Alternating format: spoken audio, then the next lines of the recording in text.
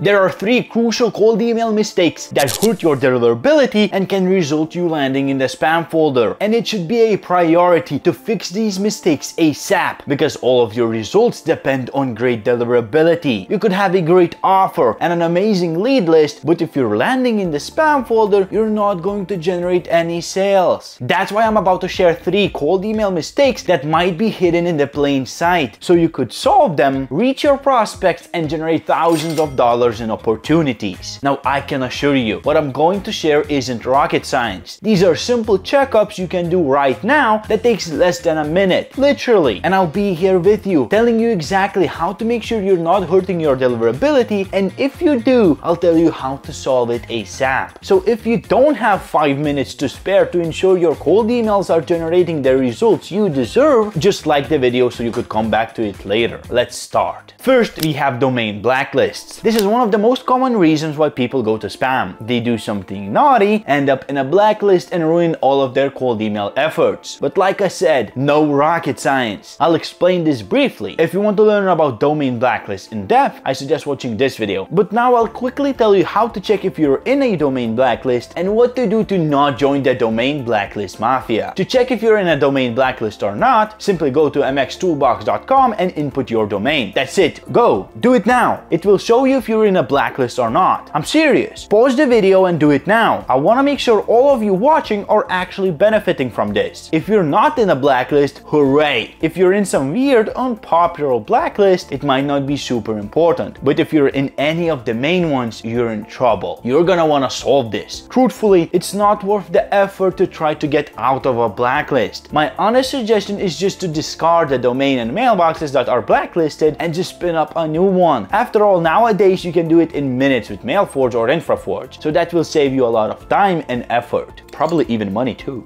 Now to make sure you don't end up in a blacklist in the first place, you have to follow a few rules. I'll list them now, just add a check mark in your head to make sure you comply with all of these rules. First, buy domains from reputable registrars, meaning GoDaddy is better than Namecheap. Second, clean your lead list so you're not sending emails to spam trap mailboxes. You can do that by running a lead list through an email checker. That's it. In the eyes of domain blacklisters, you're now a good guy. Second silly mistake that destroys your deliverability and ensures ensures you a spot in the spam folder lounge has to do with email copy. There are a couple of things in your email that act like a double-edged sword. Sword. Things like images, GIFs, or videos seem like a good idea to break patterns and stand out, but they actually demolish your deliverability. So as a rule of thumb, why is it a rule of thumb?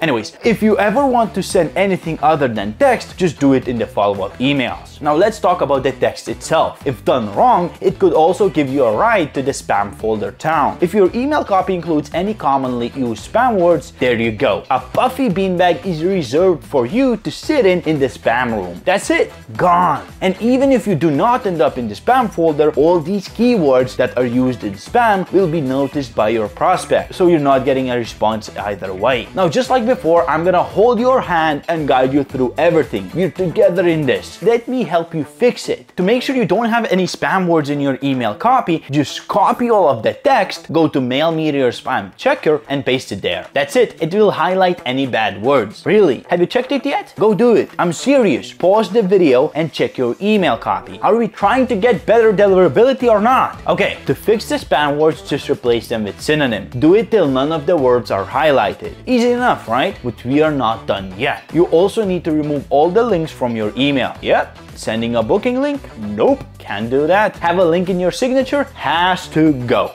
Your email has to be clean, clean, clean, pure. There shouldn't be anything that contaminates it. This applies to open rate tracking as well. Once you find a good subject line, turn open rate tracking off, or any tracking in the matter. Open rate tracking adds a pixel to your emails, which further hurts your deliverability, so turn it off. Now we're on to the third problem, that just like the previous ones will be fixed in minutes. Third mistake is not obeying email sending limits. What the hell are you doing trying to squeeze out a thousand emails from one mailbox per day. That's silly. The maximum amount of emails you should send per mailbox per day is 50. 50.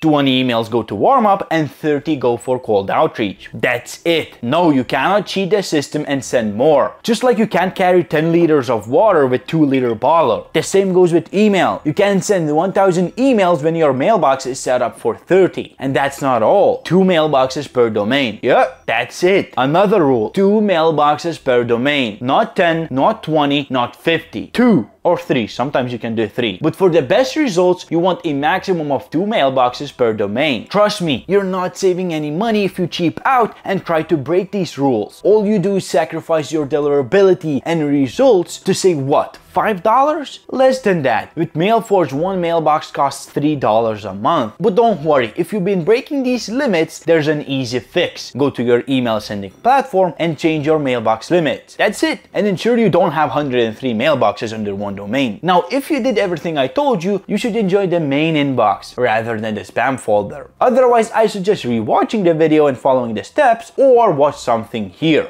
Peace!